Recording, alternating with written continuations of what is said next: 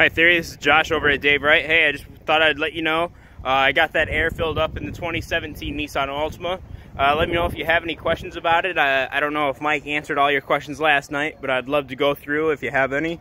Don't be afraid to get in touch with me. 319 318 0642. Thanks, Therie.